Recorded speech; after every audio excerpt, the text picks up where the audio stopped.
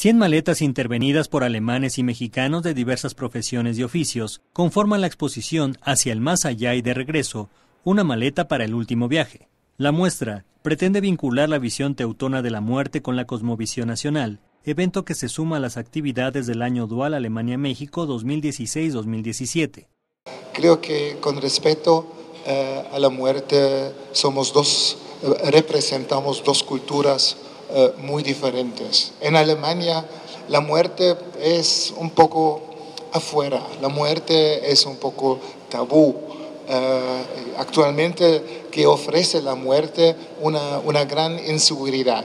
Eh, puede ser un paraíso, puede ser un purgatorio, puede ser el infierno. Entonces nadie sabe, nadie sabe por lo contrario, aquí en México, eh, si la muerte tiene una nacionalidad, probablemente es una mexicana.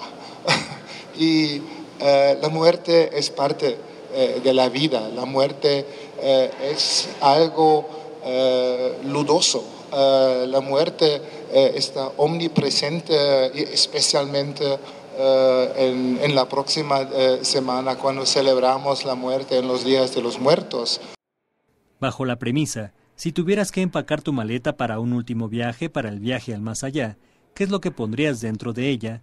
El Museo de Arte Popular y Goethe Institute México presenta la selección del curador David Roth. Esta exposición que tenemos aquí son una parte de las maletas que fueron escogidas de 103 que habían sido seleccionadas en el inicio en 2007 y eh, que han viajado por diferentes ciudades, eh, tanto de Alemania como de Europa.